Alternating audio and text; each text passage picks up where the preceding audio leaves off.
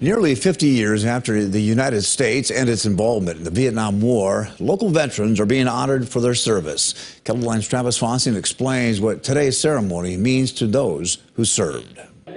Vietnam veterans and their families packed the South Dakota Military Heritage Alliance in Sioux Falls today, with Congressman Dusty Johnson leading a pinning ceremony.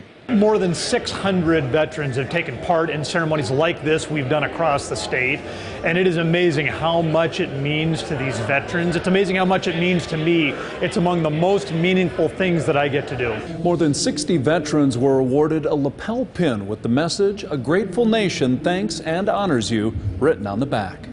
I've talked to some who said that serving their country uniform was the greatest thing they've ever done. Others said their service in Vietnam was the worst thing that ever happened to them.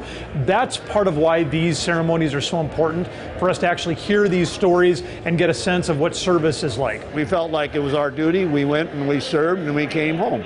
Jim Cannon spent six years in the Navy, including two cruises of seven months each in Vietnam. The first time he heard thank you for your service was in 1996. It's nice to have that recognition. Probably the biggest thing of it all. I was lucky. I was from a small town in North Dakota, so when I came home, I didn't get some of the negative things that went on in the larger communities. Steve Johnson spent a year in Vietnam in the early 1970s. He now resides in Worthing and is grateful for today's ceremony.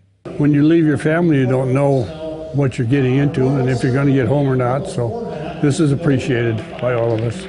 In Sioux Falls, Travis Fossing, KELOLAND News. Every branch of the military except the Coast Guard and Space Force were represented at today's ceremony.